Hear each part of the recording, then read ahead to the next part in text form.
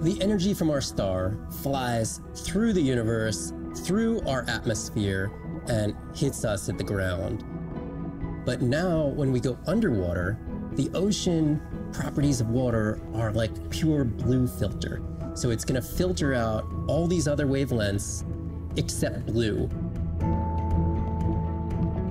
As you go down further, it's primarily blue, blue, blue till 700 meters. And at that level, there's still faint photons of sunlight in the blue range. And we call this the twilight zone. And there, animals are still perceiving a tiny little bit of our sun's energy.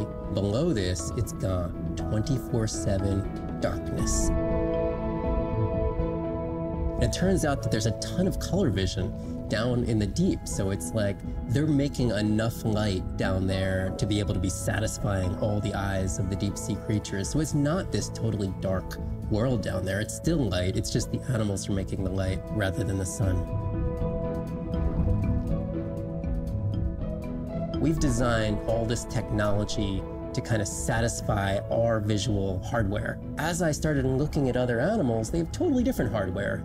And I've been looking at everything through these silly little primate eyes. We have to overcome our humanness to jump behind the world of a shark or another creature and see the world from their perspective.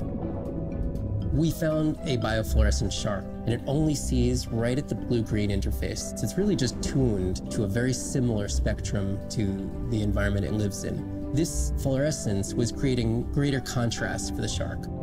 It's like this endless well of information. We're at the very tip of the iceberg.